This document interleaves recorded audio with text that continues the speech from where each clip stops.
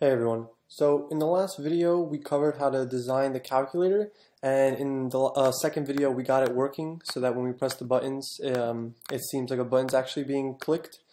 Uh, so now what we do is what, what we need to do now is uh, convert these um, numbers into this input field here and then when we press the equals button we wanted to evaluate the expression. Uh, okay so we'll open up the calc.js file and so we're going to have to wait for the whole document to actually load. So we'll use the window.onLoad function. Uh, okay, so what we're going to do now is we're going to have to access a few things in the uh, HTML page. So we're going to have to access these buttons, uh, the clear button, and the answer field. So what we're going to want to do is when a user clicks on one of these buttons, uh, the value will be transferred into this field, and then when an equals button is clicked, uh, it's evaluated. And then the clear button will simply just clear the uh, input field. So to get these elements from the DOM, we'll use uh, um, the get element by ID function. So buttons equals document get elements by ID. And then we specify the ID, which is buttons uh, buttons. And then we need to get clear and answer. So now we do var clear equals same thing, clear, and then we get the answer fields. Answer, answer. Okay, so how uh, the way we're going to do this is when you click on one of these list elements, we actually want to take the value um, of the list element and put it uh, in the answer field. So we're not actually going to have to uh, uh, add an event listener to each of these buttons. We're just going to add an event listener to the whole parent element. And I'll show you how this works. So we'll add an event listener. Add event listener. I spelled that right. Add event listener. Uh, the event will be a click, and then it'll pass in a function. Okay, so buttons add event listener. Okay, so now we'll see that we'll console log the number one. So when one of the buttons is, when any area in the buttons um, div is clicked, then it'll console log one. So let's make sure this is working. So now if you click, you can see that we're getting a one here. And so this isn't just if you click the button, but if you click the area between the buttons. So you can see we're getting a one. Uh, that's not what we want. We actually just want it to work if we click a button. And so the way we'll do this is uh, we're going to check to make sure the type of element that's clicked is a list element. So you can see that we're passing this e, vari uh, e variable here, and that's basically going to return to us some properties um, of the event.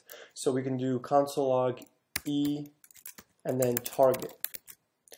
So now if you reload it and you click on a button, you can see that we actually get the list, the list element equals, you get list equals, and this is returning the DOM element. So what you, this is the, the actual DOM element. So you can actually just delete this. You can console log it, and then you can do e target um, style display equals none. And so now when you click on one of them, they actually disappear. And that's what's cool about this. You're getting the actual DOM element and not a reference to it. Or sorry, you're getting a reference to it, not the actual value. So, um, so now we want to check if the, okay, let me show you what happens. So if you click on a button, you get a list, but if you click on the space between it, you get the whole buttons area because there's nothing, uh, you're not clicking on a list element. So you get buttons. So what we want to do is check if the list, uh, the event target is actually a list element. So if the target and to check uh, what kind of node it is, what, what, what type of element it is, you could do node name equals list.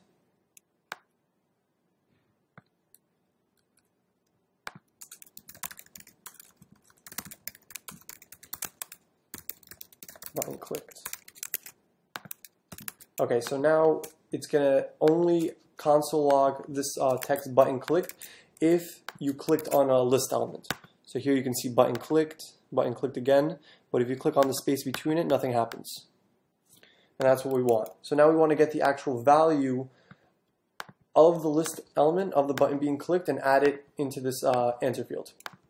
Okay, so we'll get the value by doing var v equals e target.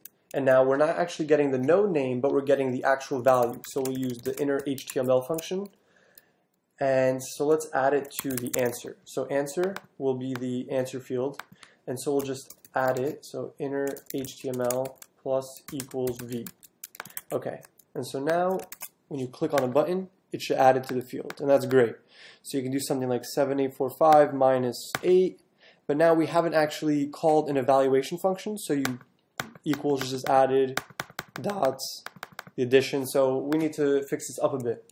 But now you can see that when you click on an element, it's actually transferring it to the output field. And then also when you click on clear, nothing happens yet. Okay, so what we want to do is check to make sure that the, the variable, that the value that you're getting is not an equal sign. If it is, then we want to actually evaluate it. Otherwise, we want to add it to the answer field. So what we'll do is we'll do if v equals the equal sign, then we'll evaluate here, eval here. Otherwise, we want to add it to the output. And so this is what we get.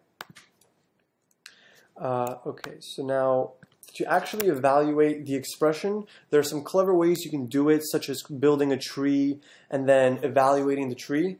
Uh, what we're going to do though is we're just going to use the built-in JavaScript eval function. So we'll just set the answer, the inner HTML to equal eval answer inner HTML. And so eval actually evaluates um, a string expression.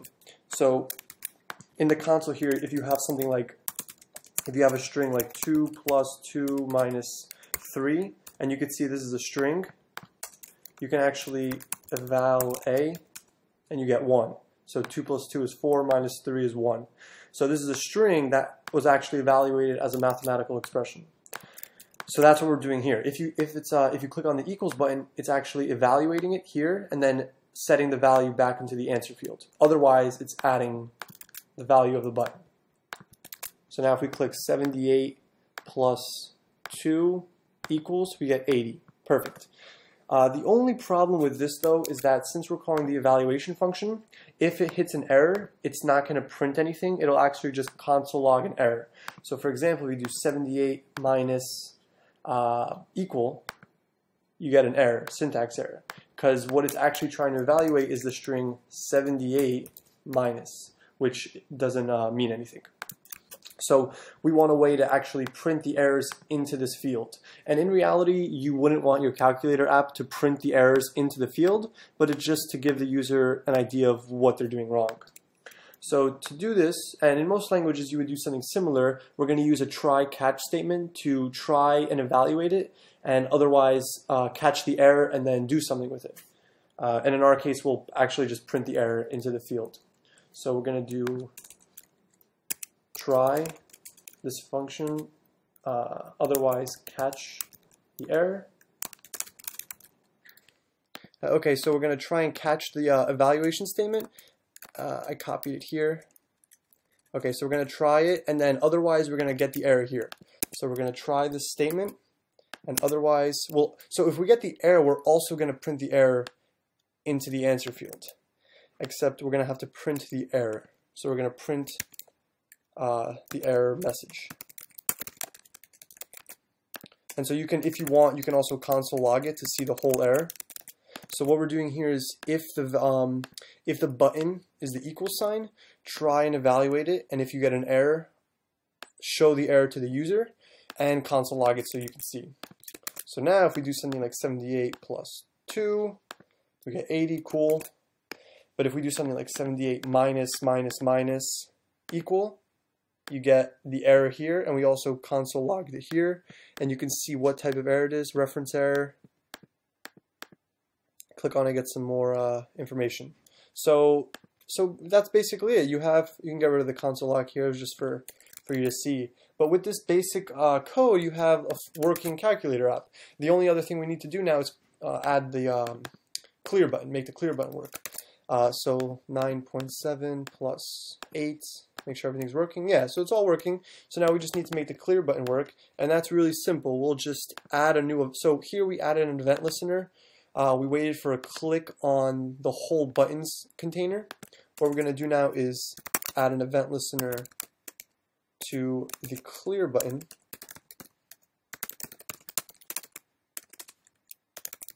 And we're basically just going to clear the, uh, um, the input.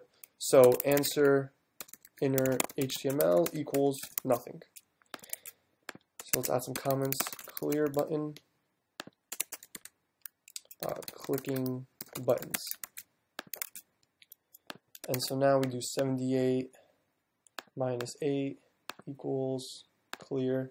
Yep, so it's all working. So now you can do 9.8 plus 78 minus 5 times 7 divided by 2. So I don't know what this is going to evaluate to, but it should work.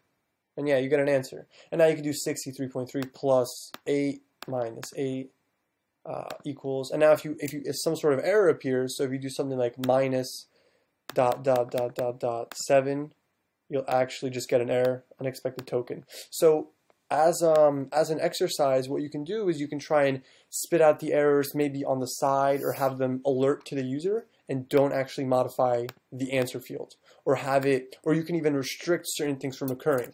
So for example, if you enter in 78 dot, then you should make it so that or you can make it so that they can't click this period again. That's one thing you can do. Uh, another thing you can do is if they try and do something that'll cause an error, it'll warn them and say this will cause an error. So there are a lot of ways you can uh, go about this, but basically you have a working calculator app, clear, you can do some simple mathematical, uh, uh, solve some simple mathematical expressions. So this will give an error. Yeah. Okay, you can clear and start over. So yeah, so thanks for watching these few videos on how to make a calculator app. You can ask any questions you want in the um, questions form below and you can post some interesting things that you did with your calculator app there as well. And other people can take a look and I can comment on it. So thanks for watching.